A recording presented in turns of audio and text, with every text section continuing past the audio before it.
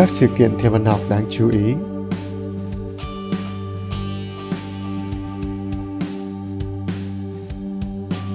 Vào đêm mùng 5 rạng sáng mùng 6 tháng 11 sẽ là trận mưa sa băng Kim Ngưu.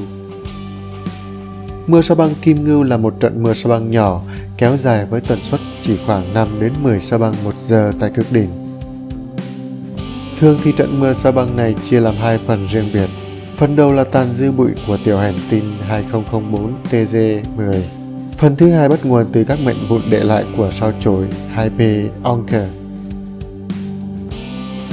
Trận mưa sao băng này diễn ra hàng năm từ ngày 7 tháng 9 đến ngày 10 tháng 12. Cực đỉnh năm nay diễn ra vào đêm mùng 5, dạng sáng mùng 6 tháng 11.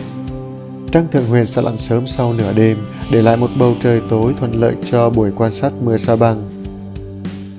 Thời gian quan sát tốt nhất là sau nửa đêm tại khu vực tối và thoáng đãng. Sao băng xuất hiện từ phía chòm sao Kim Ngưu, nhưng cũng có thể xuất hiện ở bất cứ nơi nào trên bầu trời.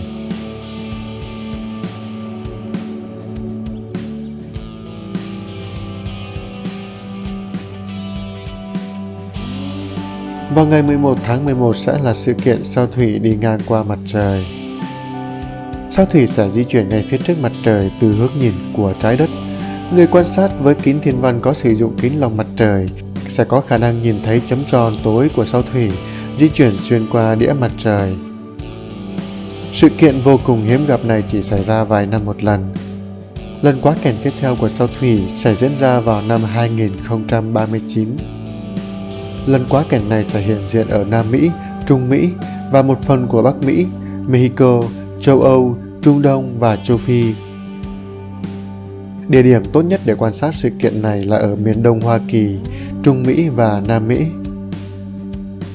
Việt Nam không quan sát được sự kiện này.